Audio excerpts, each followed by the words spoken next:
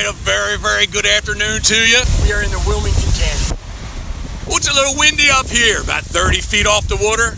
With Curtis Campbell, his son Connor, and himself are very kind to invite me along today, and we are just enjoying on their beautiful, beautiful, beautiful boat. 42 foot Ritchie Howell. We're about to see, well, we're not gonna look at the lunar eclipse, but it's about to happen, and we're fishing the Mid-Atlantic Tournament, and we happen to be in the Wilmington Canyon. Seen a couple fish, but we haven't Had the bite yet. but it's gonna happen. It's gonna happen. Come on, come with me. Let's check out what we've seen so far. Woo!